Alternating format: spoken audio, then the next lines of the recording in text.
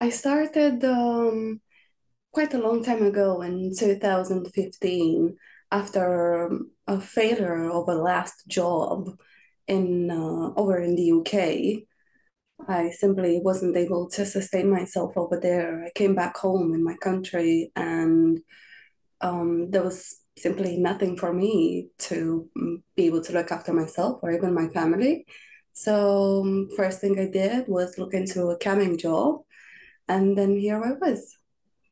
So incredible. I hear a lot of stories like that where, um, you know, I don't know what your situation is, but I know there are sometimes moms that are like, I can't work and be away from my kids. So camming allows me to um, work from home or and make enough money.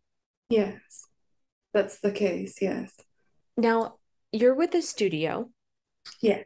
Have you always been with one? No, I haven't.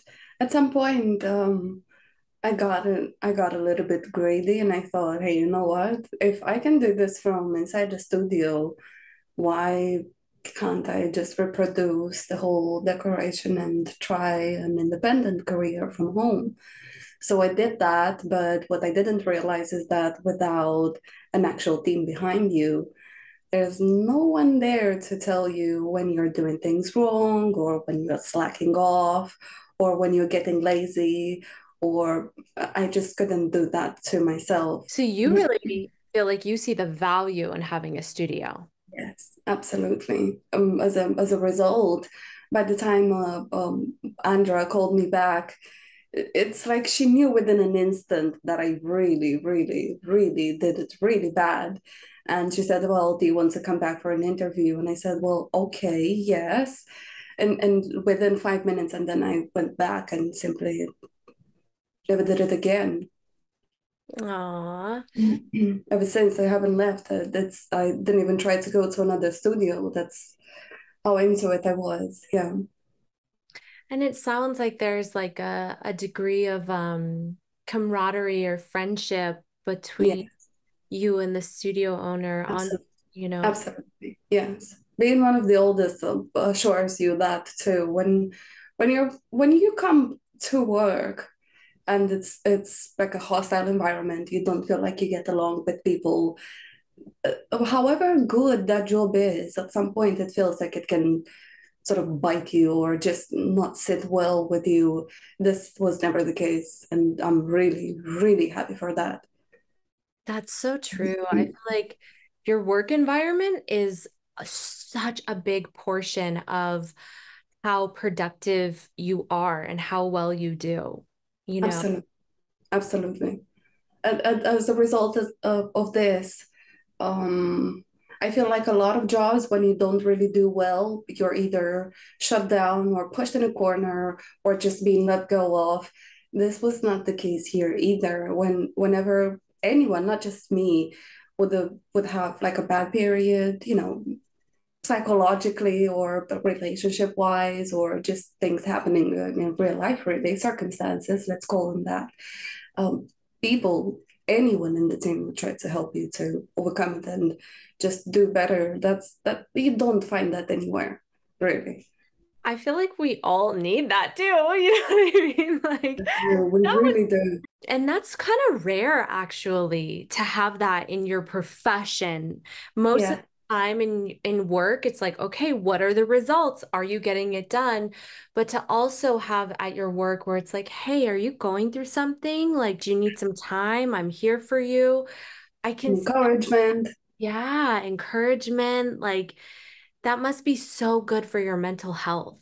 Absolutely. Absolutely. Oh my goodness. I love that. That's beautiful. It is. You're right. We're really lucky. I feel really lucky for that. I grew up with this. It's it's like the sort of family that I'm and we never got to have. And yeah, it's it's it's pretty cool. Maybe it sounds a little bit cheesy from the outside, but as soon as you sort of you know join it. You just have to let's say go to a meal together out out and about in town and you see right away this is not an ordinary working team. It's more than that. Yeah it's like um a type of family almost probably. Yes yes yes exactly. Yeah. So I want to ask you, you know,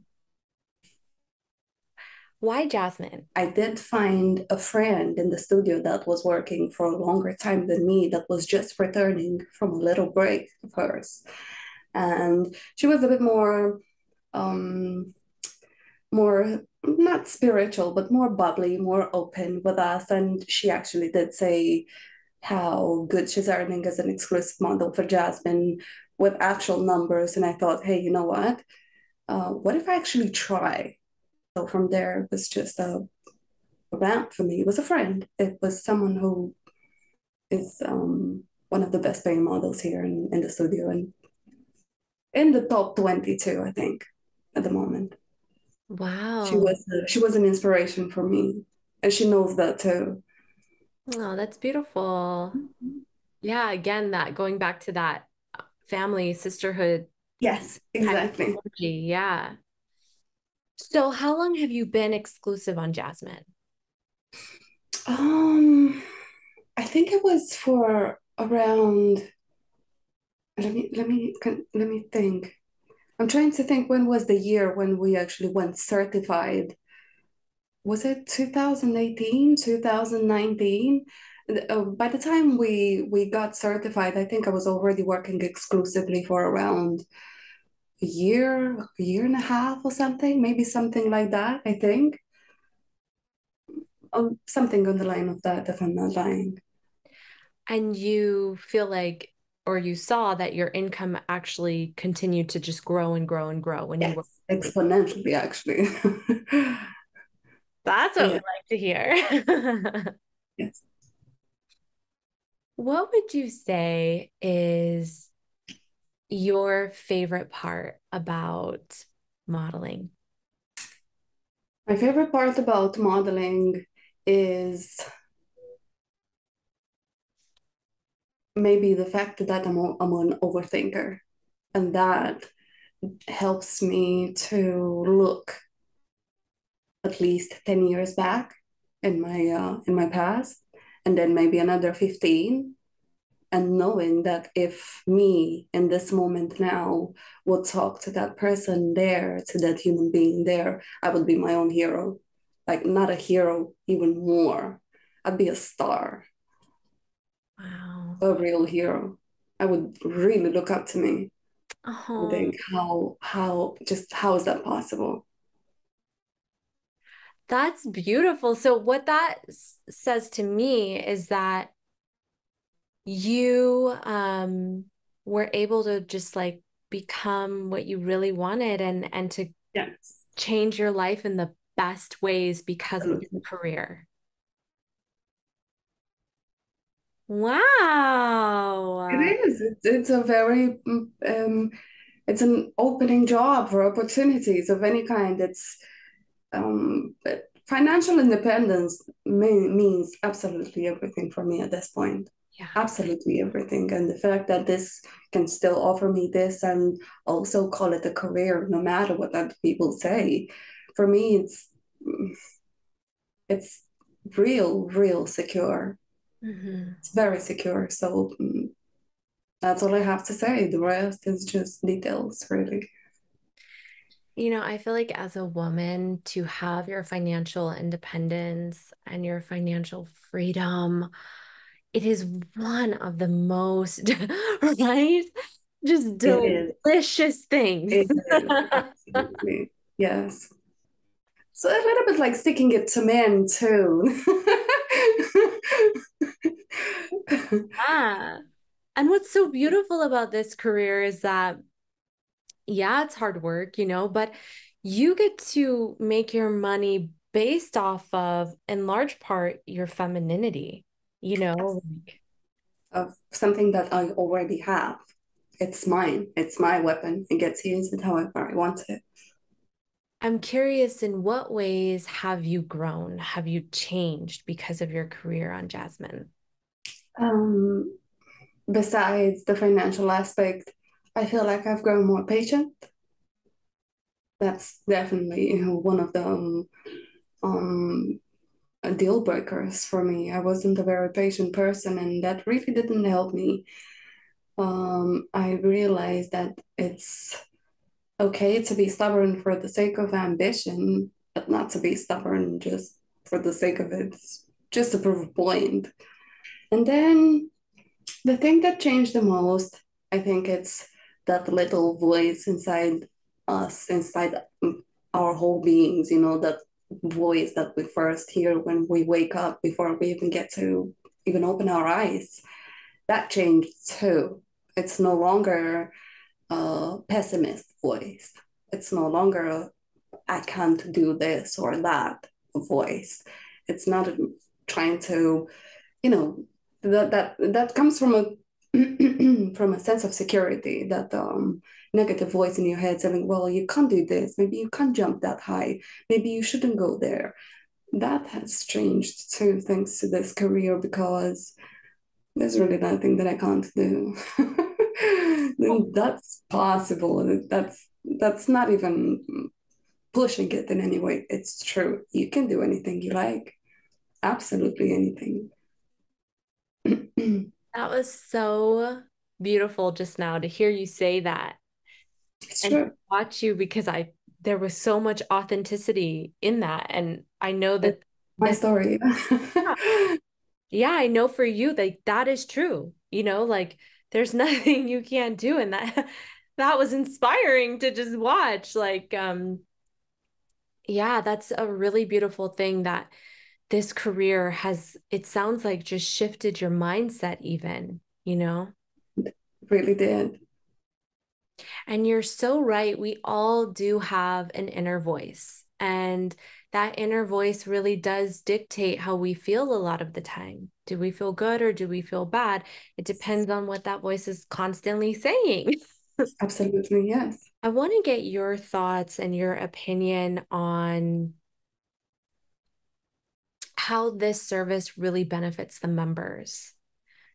What, what do you think mm-hmm. they're really That's there? very good question, actually.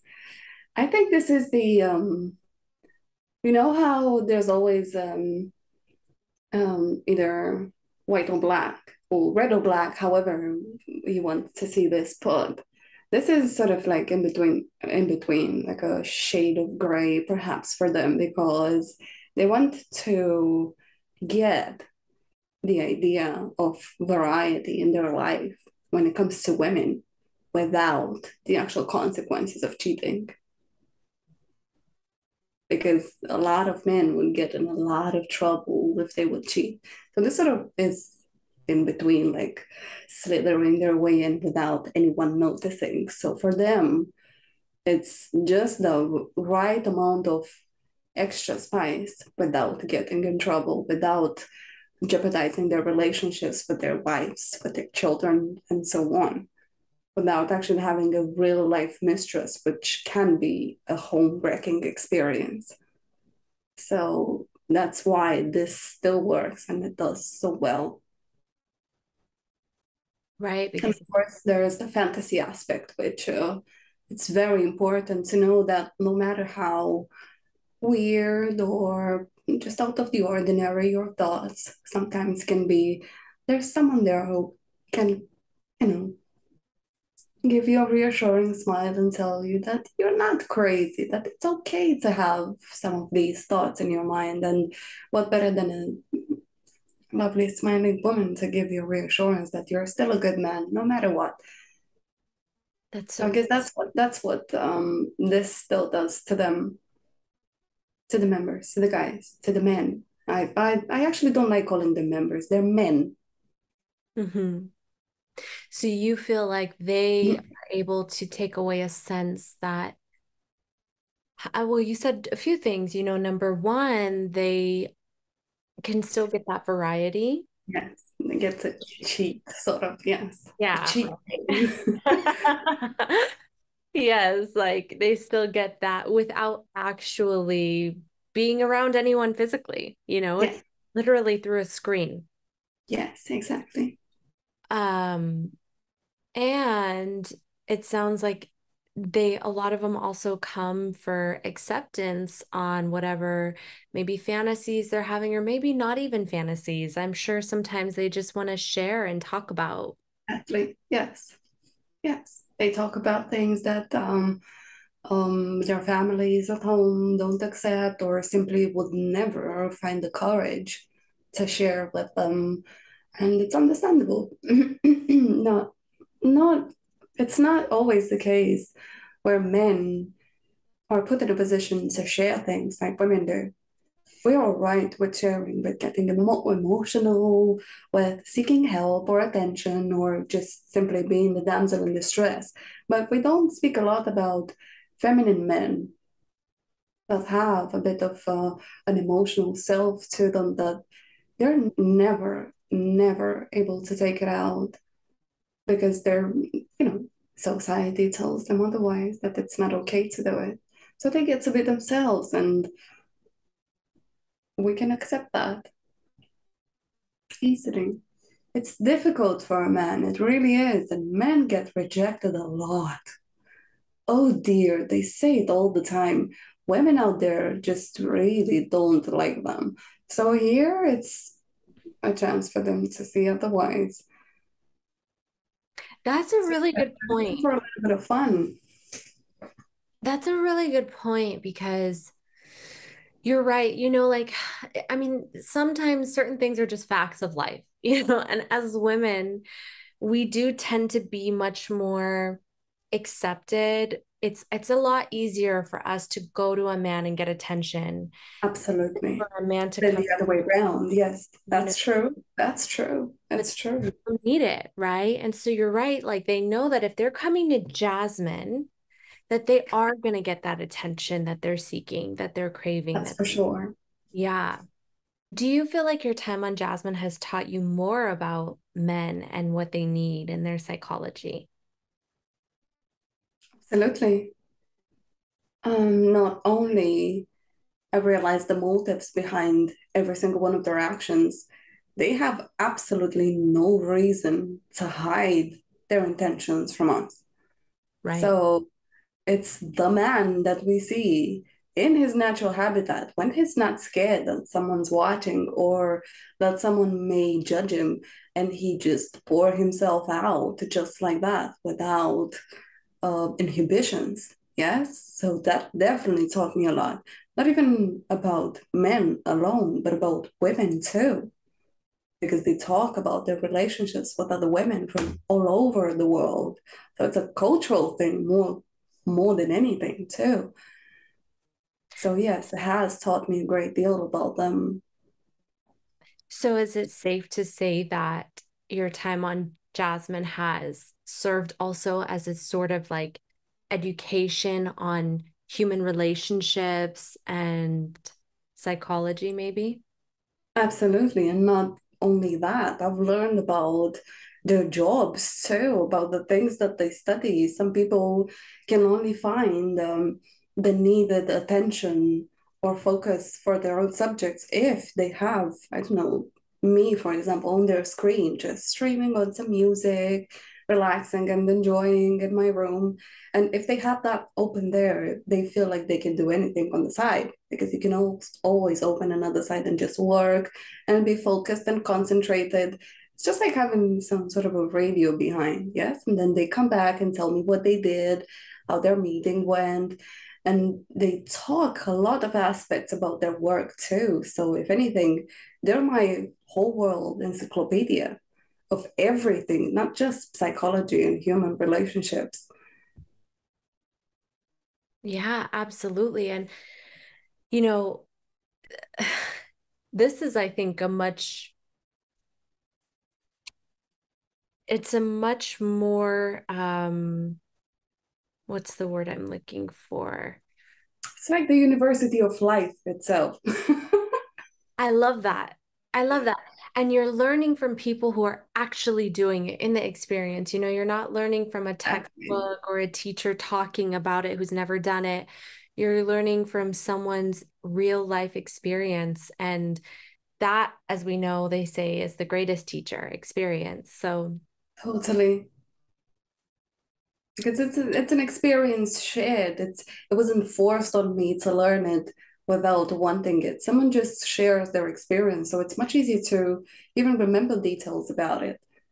It's actually quite interesting. I met painters, people who painted other people in these huge canvases and just really offered them back to them in, in a couple of weeks. I met real, but real computer sciences, so scientists, or I call them geniuses because, you know, you just sort of have to. Uh, programmers who feel that the, the way they program is just another language. And it actually is. It's a way of communication. It's like grammar itself. And they explain the details of that too to you know make it more understandable for us met writers and um, singers and even strippers and just all sorts of people it's really amazing to see where these people are coming from whether they do their desired job what that involves if they would rather do something else and why that is it's really interesting, very interesting. Absolutely. What would you say is the biggest lesson you've learned from working on Jasmine? Okay, I need to think of that. Mm.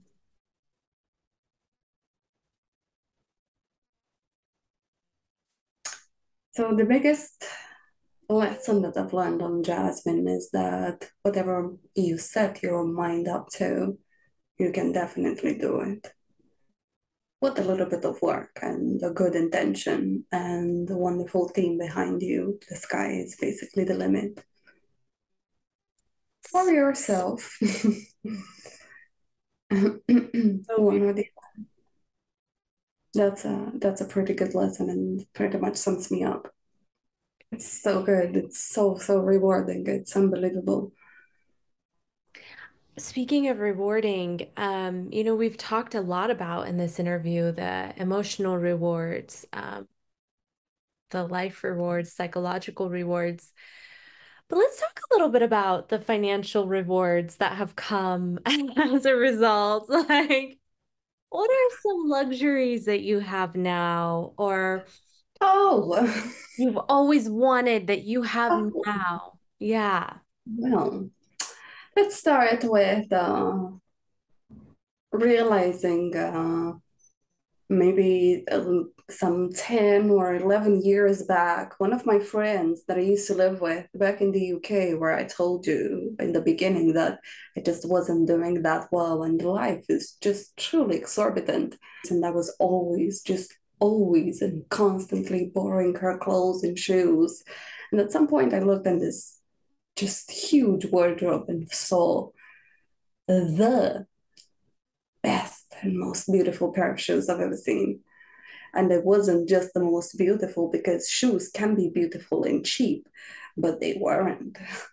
they were 600 pounds at the time. And I thought, how much does a person need to work to make that kind of money and spend it without um, without feeling bad? like really bad without wanting to send them back, let's say. And they were seriously worn, so she didn't care for a bit. Um, I'm talking about the Louboutin, the you know, yeah. the red bottom shoes. To take those out and not care is uh, a bit of a flex uh, in, in my book. Years forward, sorry, um, I realized what the fuss was all about. And it wasn't just with one pair of shoes, it was with tens of them. Maybe I have a little bit of fetish, but I don't mind. It's fine. It's not something that um, a normal person here in my country would. And the, the price of a pair of shoes like this sums up three monthly average salaries in my country there is a price set on quality, on very good quality things. I mean, the first pair of shoes I got, I still have them and they're almost intact. It's and it's been what almost five years now, six. They're intact. And I've only wore them inside buildings and carpets and so on. So for me, that says, well, that's money well spent because I don't I don't get to just wear a different pair of shoes every three, three months and change them because that can get expensive too. Yes, that would have cost me more money in the long run. So I got to understand that too. I'm basically too poor for cheap things. That's a saying we have in my country. So I have to buy quality things, and that costs a lot of money, especially in a country like mine. And I'm not going back to that, to looking of all these beautiful things that are out that are out there and just not afford to buy them or just say, well, maybe they're for someone else. No, if I want them for me, they're going to be for me. it's very good to treat yourself. Oh dear God, it's very good. Absolutely. Mm-hmm. I was going to say, you know, even I think the joy that comes from from being able to buy something that you love, I think that joy is worth it. Absolutely. Yeah. Absolutely. That's really incredible. I I feel so honored to be able to interview models like you because you. it's really nice of you to say. Yeah, absolutely. Because it's like um the mindset is really inspiring. The mindset, the, you know, hearing the story of where you started, where you grew to, and and how like open and abundant your mindset is, you know, it's inspiring for I think anyone to hear. Thank you. that's that's the whole point, uh, actually, isn't it? Yeah. Everyone would be a little bit more daring towards their dreams, more not just deserving, because I suppose everyone deserves it, but you have to have courage. You just have to go for it. Otherwise, nobody's going to do it for you. So, you could summarize what it means to be a Jasmine girl in one or two words, what would it be? One of the things that I like to, um, it's not test, more like just put it out there and see how it is. Sometimes I just like to dress as normal as I can. I don't even put on the full, full face of makeup. Um, the confidence of it all, it shows even way out of there among people who have absolutely no idea what I'm doing. It rubs off on them. They like it. They get magnetized. And I know why it is. It's not just because um, of the things that I've overcome through the job, but where I am right now, this is the sum up of everything that I've achieved so far. It's very attractive to people without even trying. It, it exudes me. It, it's coming out of me. It shows. I'm not, I'm not a little, you know, library rat. I, I have confidence. I have a, a good smile. Uh, oh, yes, that's another thing. I have a good smile. You know, that, that has also been one of the best things that I've achieved through uh, this line of work and totally changed my life. Oh, oh dear me. Yes, so um, it, it shows it, and I like to see if they can sort of point it out why that is. Do they think I am like this because I'm in a healthy relationship, or because I have a good job, or just because something is backing me up. I don't know. I like to see if they can sort of guess it. Where is it coming from? Where is that aura, that glow, that exuberance coming from? It's very interesting to see what people come up with. And I know what it is. It's sort of like secret on a chest full of secrets, you know, and then, hmm, well, you know, just be me. yeah. I love that so much. I it's like yeah, it's like this inner secret um of you, you used two words that I really liked, which was like exuberance and magnetism. Yes. It shows. It shows. It really does. Obviously, in this uh, industry, around this industry, there is still on the outside stigma and judgment. Okay. yeah. Well, this is a, coming from a society that will tell you that if you're thin, you got to get thick. But if you're thick, you're gonna get thin. If you're too happy and exuberant, you're just trying to, you know, flaunt it in front of people. But if you're too introverted, you should speak out more. Yes. If uh, you speak too much, you should speak less. And if you speak less, you should speak more. These are the same people that we're trying to get what? Um, what sort of confirmation are we expect, expecting from people who have absolutely nothing to do with us, with our inner motives about doing things? Maybe the only thing that we should worry about is our families. And from what I've seen in all these years, by the time they realize that it's actually more upsetting to have your offspring do hundreds of hours a, mo- a month for pennies on the dollar. That that's where the drama is. Not when uh, uh, both because i suppose there's men in this industry too both men and women decide to do a camming job. This is where you know things set and just opens a, opens a new world of possibilities not for themselves but for their families too and like I said, in this uh, large, long experience that I've had, families get around to it eventually. They always do. So that's the only thing that you're supposed to care about because the rest are just people. That's all. And they will always, always have something to say. no matter what you do, might as well just, you know, your answer to this question, I like it a lot because it's pretty much just like, who cares about them? Exactly. You're happy, you're healthy, you're making great money, you're changing lives, you're changing your own life. So, poo poo, what the peanut gallery says. Yeah, bye bye. I think that's a beautiful response. And I think that's a a mindset that will keep you at peace. Yes, absolutely. And not allow other people's misunderstanding. This has been an incredible interview, one of my favorites. um, I like to end the interviews by asking one final question, which is just what's something in your life you're the most grateful for right now?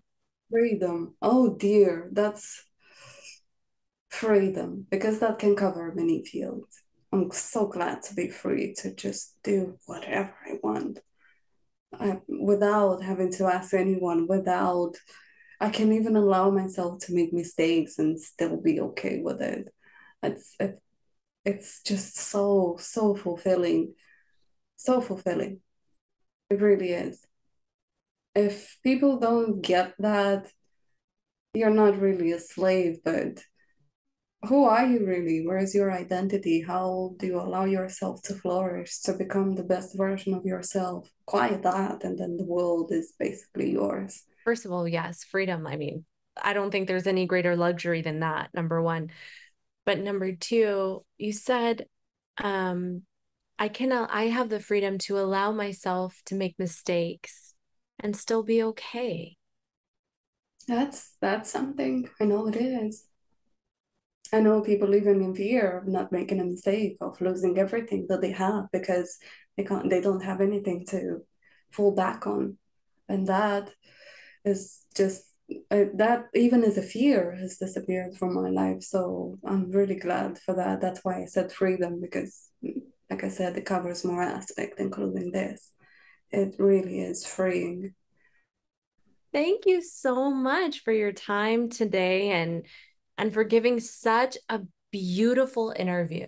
Beautiful. Just keep being you. You're wonderful. Thank you. That's really nice of you to say. And you too. Very bubbly. I like that. Bye-bye. bye.